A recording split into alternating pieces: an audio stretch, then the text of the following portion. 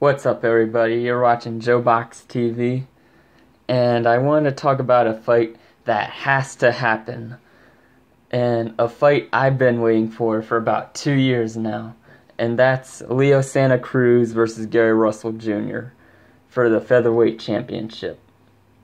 To me, this has this has to be one of the best style matchups in boxing. I mean, you've got Leo Santa Cruz's relentless vol- high volume punching combinations and aggression against Gary Russell Jr., who, in my opinion, possesses the fastest hands in boxing.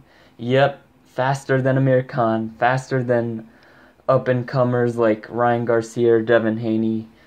All in all, I I just think Gary Russell it not only is the fastest fighter in boxing, but he also has a very tricky, crafty to, style to go with that hand speed and plenty of power, just as he showed against Joseph Diaz Jr.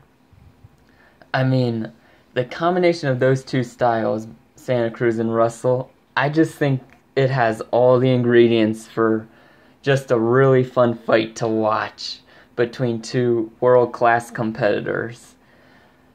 Now, I might be a little bit biased I used to live about an hour away from the DMV area, and Gary Russell is from DC, so I'm a big fan of Gary Russell.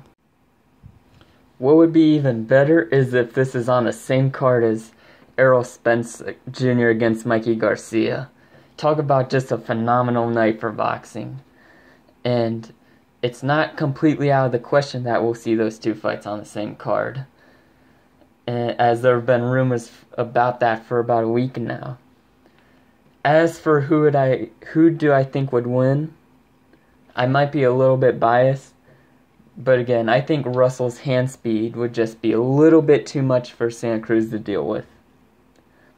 Now, I talk about Santa Cruz like the like this aggressive brawler, but really he has very underrated boxing skills. He did get outboxed in that first fight with Carl Frampton, but I wasn't very impressed in the rematch when Santa Cruz made those adjustments, boxed well, and used that long jab. And he can also counterpunch very effectively. So, on the other hand, with Gary Russell, I feel like sometimes he throws punches, these quick flurries just to stay busy, and they aren't really purposeful punches and that can get you in trouble against a taller fighter like Santa Cruz, who, like I said, can box and counterpunch when he needs to.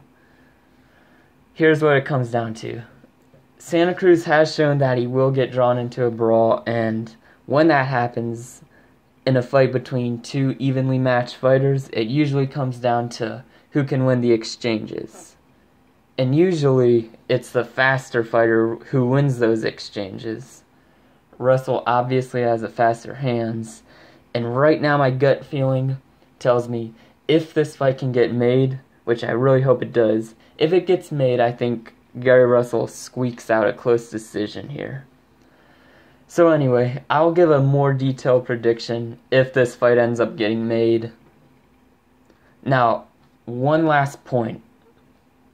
Um, both fighters seem to want this fight. Leo Santa Cruz stated after his win against Abner Mares, he wants Gary Russell Jr. And Gary Russell Jr. also stated in interviews that he wants to fight Leo Santa Cruz as well. So it's up to Al Haymon. Please, Al Haymon, make this fight happen.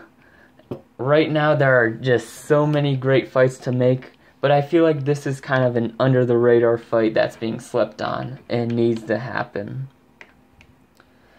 And if it does, I can't wait. Until next time, Joe Box TV out.